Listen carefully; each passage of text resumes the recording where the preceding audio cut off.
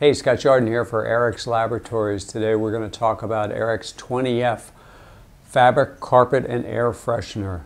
A great product that has lots and lots of uses.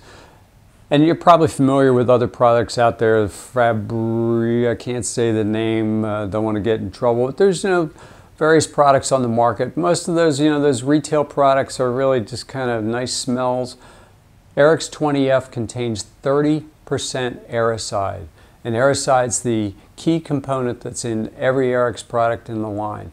And there's a separate video on how Airicide works, but in a nutshell, Airicide links with the foul odor molecule, changes its shape so it's no longer perceived as a foul odor.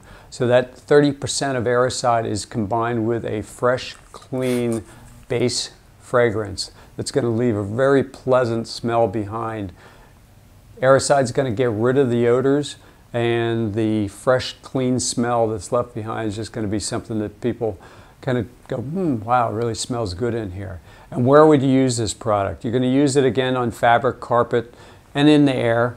But uh, you know, fabric and carpet and things like that, they they absorb. They have the ability to absorb odors like a sponge. So you can spray this on drapes. You can spray it right on the carpet. It leaves no sticky residue behind. Again, spray it on upholstery, athletic equipment, in your car. Great for covering up those smoke odors, getting rid of those smoke odors and fish smells.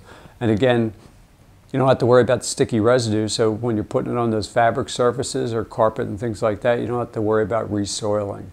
Product is packed in 12 quarts per case with a trigger sprayer, super fine mist trigger sprayer. So you get hundreds of sprays per quart compared to those aerosol products that you know you have a limited number of, plus aerosols aren't good for the environment in general. So that's Airx 20F. If you want more information, you can go to airxinfo.com, download the product sheet, MSDS, and you can get information on the rest of the Airx line as well. Thanks a lot for tuning in.